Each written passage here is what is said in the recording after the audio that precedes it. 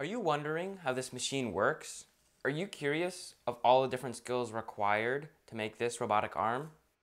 Lucky for you, I'm going to show you how. My name's Dylan Wilson and this is how I made my Mimic robotic arm.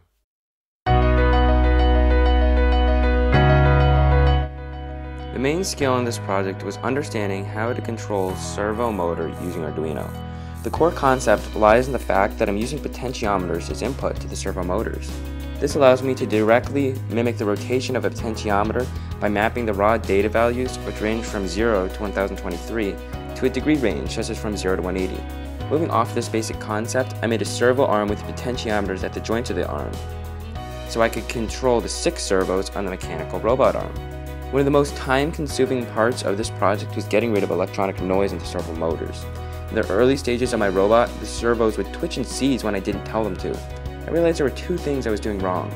The first was that I didn't have my 5 volt 2 amp power supply grounded to the Arduino board. The second was that I was using 10k pots instead of 5k pots.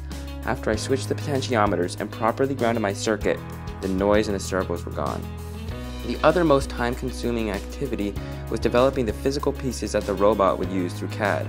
I never used CAD before this project, so using Onshape for the first time took a little getting used to.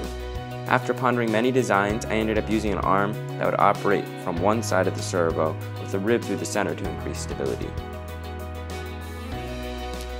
Overall, I hope you understood and enjoyed this brief overview of my first engineering project. My name is Dylan Wilson and thanks for watching.